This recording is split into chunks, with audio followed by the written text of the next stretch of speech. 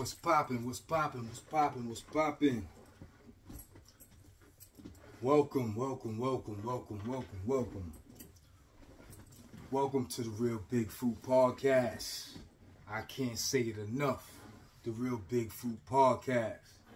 Just in case anybody has a problem with the fact that Big Fruit has a podcast.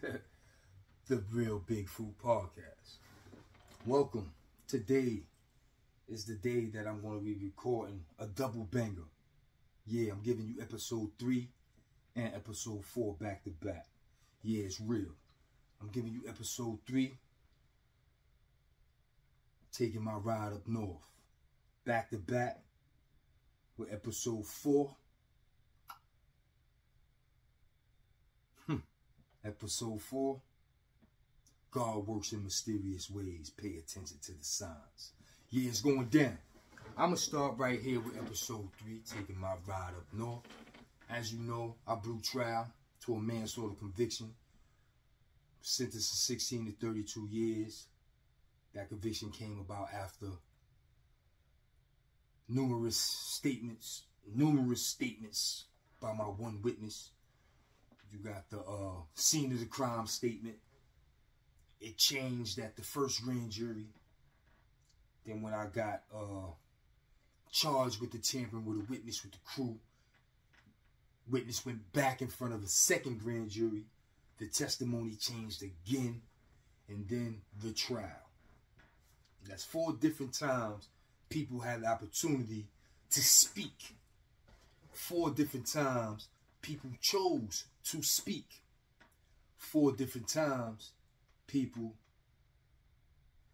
had the opportunity to say what they need to say. Me, on the other hand, since day one, I've never made a statement about it. Since day one, I've never spoken about it. So now, on YouTube, 30-something years later, I choose to tell my story, and now everybody else want to redo, and they want to come and tell another story. We not doing that. They had more than enough time to say what they had to say. They've had more than enough opportunities to say what they want to say. Like they just keep changing the narrative on the kid, but the kid ain't going for that. So once again, after blowing trial and taking my show on the road up north, I had a 93 number, late 93. By the time 94 came around, I told you I ran in the star, Southport box. I ain't gonna revisit all that bullshit, but we ran into each other in Southport we talked through the wall. We was back to back cells. If you want to say we ironed out our differences, so be it. But I was with Star. Just like I spoke to my cousin on Rikers Island. Now I speak to Star through a wall. Star created a lot of bullshit between me and him after the fact I did what I did. He he allowed the situation to go further. He was angry, he was upset, he had a right to be. But just to say he allowed the situation to go further. And I responded to that shit because I'm fruit. And if you know fruit, you know what it is. This ain't no cat. This ain't no beating on my chest. This ain't none of that shit. If you know fruit, I was with the shits. It is what it is. But we talked through that door or that sink shit in the box for a couple of months before we separated. And uh, he understood what it was. That's 94. By late 95, I hit Green Haven. When I get to Green Haven, a couple old timers from my hood there. Couple cats I was up in Clinton with there. They was waiting for me to come down. But when I get there, they let me know, yo, it's a dude in the building He's supposed to be the uncle to your victim. Here we go. Alright. I runs down on the nigga. If you know fruit, you know what it is, son. Once again, it ain't no cat. It ain't no beating on my chest. I was with the shits. So I go holler at this nigga. Yo, what's up? What's good? And to my surprise, son, he was like, yo, it ain't no smoke. It is what it is. But so and so want to holler at you, family want to talk to you, ah, ooh, ooh. Word, no doubt. Gave me phone number.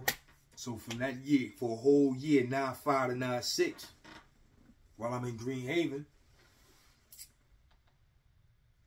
I'm actually in touch with the family. Off the rip, like I told you, son, off the rip.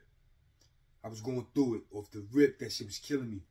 Off the rip, I was so sorry for what I did. I was expressing my remorse and the pain I was going through, son. Like, I was wearing a mask in them prison yards. But when I was on that phone with that family, man, I wasn't wearing that mask.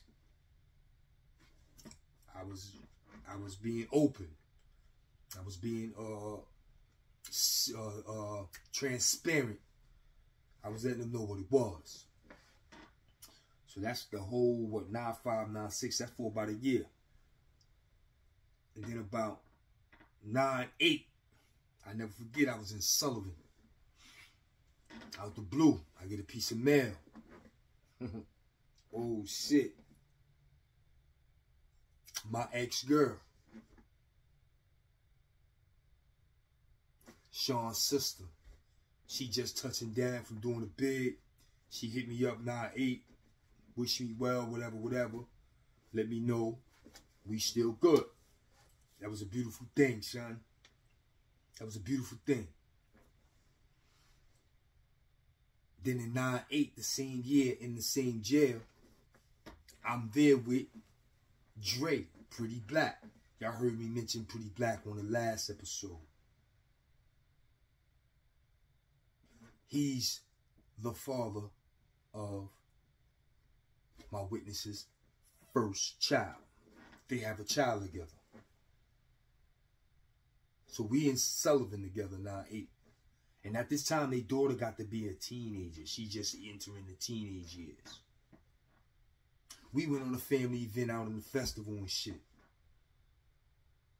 This is the shit your boy had to go through, son. Like, I'm expressing to you how, you know what I'm saying, how my connection to the family remained. Uh, I never stopped expressing my remorse. You know what I'm saying? So when motherfuckers try to paint me out as the villain, nah, bro. I was never the villain. It was always love for fruit. It was always love for fruit. I don't know what all this new shit is about. It is what it is. But I'm giving you my life story.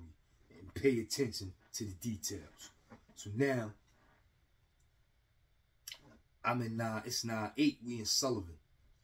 We go out on a family event. My cousin come up. Bring my little cousin to see me. Shout out my cousin Nikita and my baby girl Nayasa. Yeah, Nayasa, that's Mikey's daughter. Shout out Nayasa, I love you, mama. So boom, they coming up. Family event. Dre like, yo, my daughter coming. I'm like, oh, alright. Go out there and shit. So his daughter, his mom's bring his daughter.